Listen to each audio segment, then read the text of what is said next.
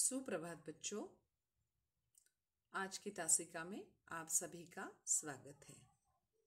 दिवाली की छुट्टियों के बाद पहली बार हम आज मिल रहे हैं। आशा करती हूँ कि आपकी दिवाली घर पर ही बहुत अच्छी तरह से हुई होगी। आपने, आपके मम्मी ने बनाए हुए अलग अलग घर पर बनाए हुए अलग अलग पकवान का स्वाद लिया होगा।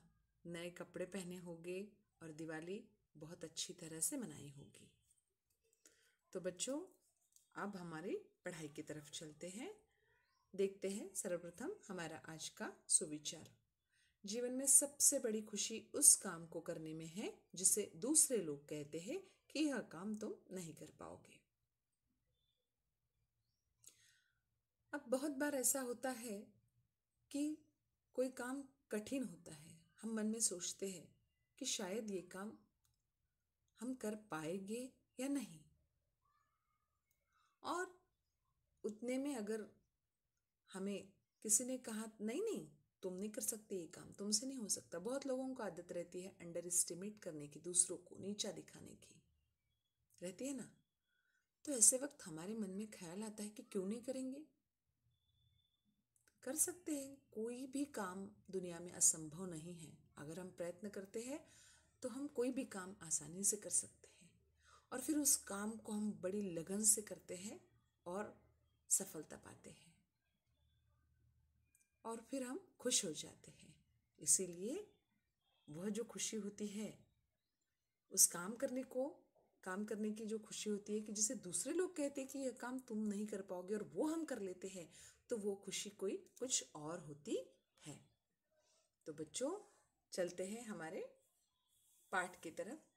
आज का हमारा पार्ट जो है, वो है हमारा व्याकरण का टॉपिक जो अव्यय कहा जाता है जिसे।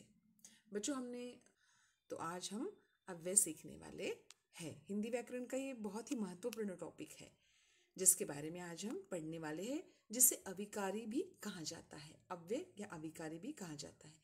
बच्चों, शब्दों के दो प्रकार होते हैं, एक विकारी शब्द और दूसरा अविकारी शब्द। अब विकारी शब्द, विकार यानी क्या? विकार उत्पन्न होना, यानी उसमें कुछ बदलाव आना। और अविकारी, जिसमें कोई विकार नहीं है, कोई बदलाव नहीं आता, उसे अविकारी। ये ये बात आप, आपके माइंड में फिक्स कर लो कि विकारी शब्द वो होते हैं जिनमें बदलाव होता है।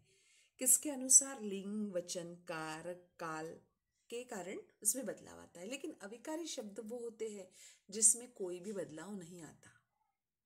पहले विकारी शब्द की परिभाषा देखते हैं। जिन शब्दों को वाक्यों में प्रयोग करते समय परिवर्तन आ जाता है, उन्हें विकारी शब्द कहते हैं। अब विकारी शब्द जो है, वो चार प्रकार के होते हैं। संज्ञा शब्द, जैसे लड़की, लड़के, लड़कियाँ आदि। अब यहाँ लिंग वचन के हिसाब से हम इसमें बदलाव करते हैं। लड़की गा रही है, लड़का गा रहा है, लड़के आ रहे हैं, लड़कियाँ जा रही है। सर्वनाम शब्द, जैसे वह, उसने, उससे, उसकी, उसको आदि विशेषण शब्द में, जैसे अगर लड़का है तो वह लंबा है, लड़की लंबी है, लड़का मोटा है, लड़का पतला है, लड़की पतली है आदि। वैसे ही क्रिया शब्द का है, जैसे लिखना, लिखा, लिखेगा, लिखेगी, है ना? अगर लड़का रहा तो हम लिखेगा बोलेंगे, लड़की रहेगी तो लिखेगी बोलेंगे।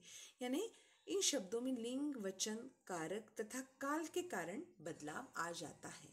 लेकिन अविकारी शब्द जो होते हैं, उनमें किसी की वजह से बदलाव नहीं आता है।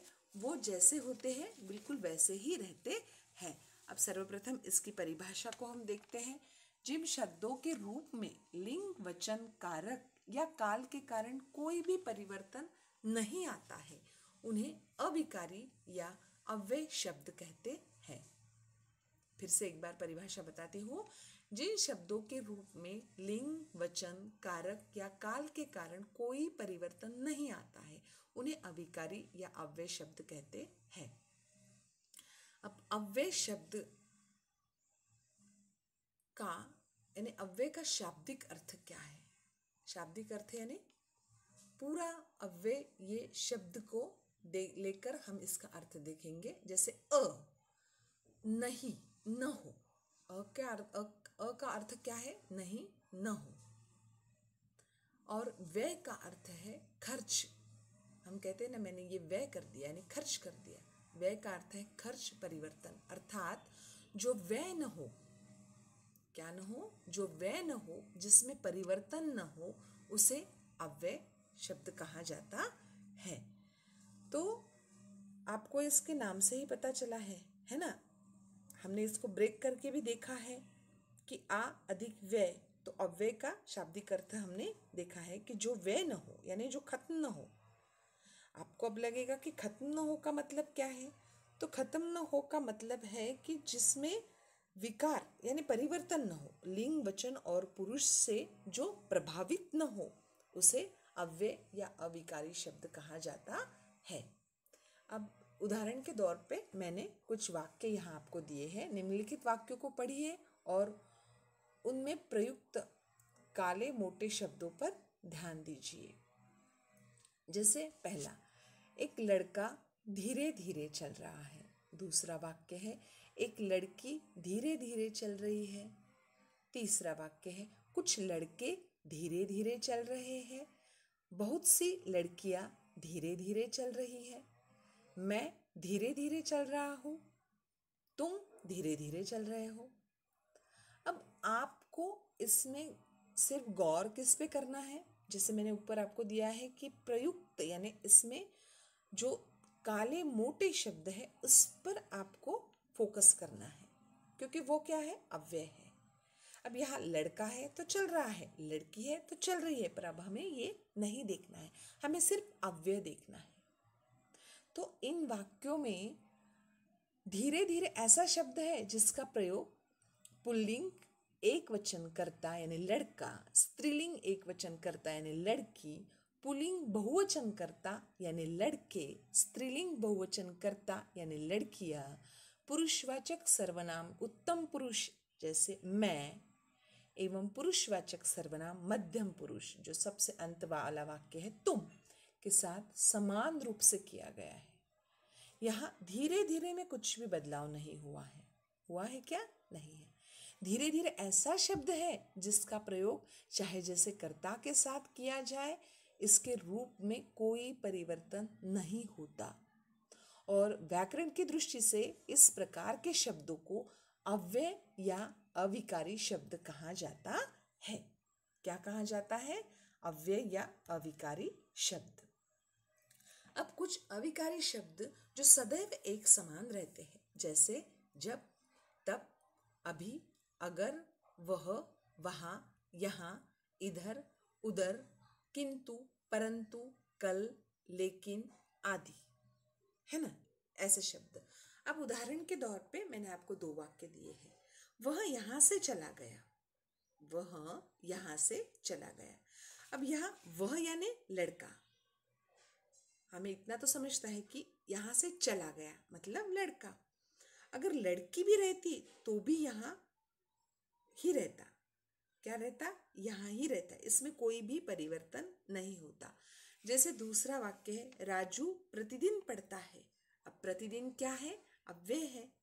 है ना? अब यहाँ सीता भी होती, राधा भी होती, या कोई और लड़की भी होती तो भी यहाँ प्रतिदिन ही होता। क्योंकि इसमें कोई भी बदलाव नहीं होता है। राजू प्रतिदिन पढ़ता है, राधा प्रतिदिन पढ़ती है, सीता प्रतिदिन पढ़ती है। अब ये जो उदाहरण है, इसमें हमने देखा कि जैसे जब ये ऊपर हमने देखा जब तब अभी, अगर, वह, वहाँ, यहाँ, इधर, उधर, किंतु, परंतु, कल, लेकिन, ये जो सारे शब्द हैं, वे वैसे ही रहेंगे। इनमें कोई भी बदलाव नहीं होगा। तो अव्यय जो होते हैं, उनमें कोई भी बदलाव नहीं होता है। इसीलिए उसे अव्यय या अविकारी शब्द कहा जाता है।